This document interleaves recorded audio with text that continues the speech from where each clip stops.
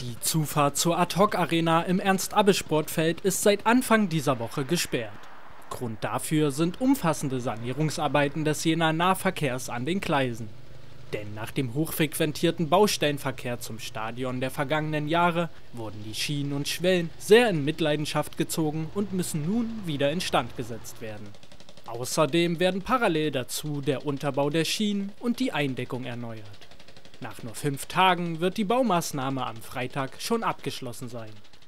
Wir sind sehr stolz, dass wir mit unserer Baufirma TS Bau hier absolut im Kosten- und Zeitrahmen liegen. Wir werden noch in dieser Wochenende die Bauarbeiten so abschließen können, dass der Bahnübergang wieder eröffnet werden kann und die Straßenbahn ab Samstag wieder ihren Betrieb aufnehmen kann. Dafür den Männern von TS Bau und allen im Nahverkehr, die daran beteiligt sind, herzlichen Dank. Teilweise haben sie Tag und Nacht dafür gearbeitet. Derzeit werden die Straßenbahnlinien 1, 4 und 5 noch über die Kalaische Straße umgeleitet.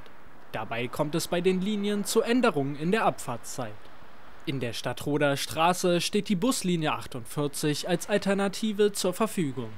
Außerdem reagiert der Jenaer Nahverkehr auch auf einen derzeit sehr hohen Krankenstand von fast 25 Prozent beim Fahrpersonal mit einigen Ausfällen und Änderungen in den Fahrplänen. Damit wir nicht tagesaktuell immer wieder überraschend Fahrten ausfallen lassen müssen, haben wir uns zu dem schweren Schritt entschieden, in dieser Woche ein, einige wenige Buslinien komplett einzustellen, Takte zu dehnen, sodass das Angebot, was wir jetzt vorhalten, stabil gewährleistet werden kann. Und das ist uns gelungen.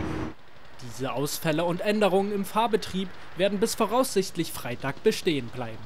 Auf www.stadtwerke-jena.de/nahverkehr finden Sie alle genaueren Informationen zu den Baumaßnahmen sowie zu den Ausfällen und Änderungen der Fahrpläne.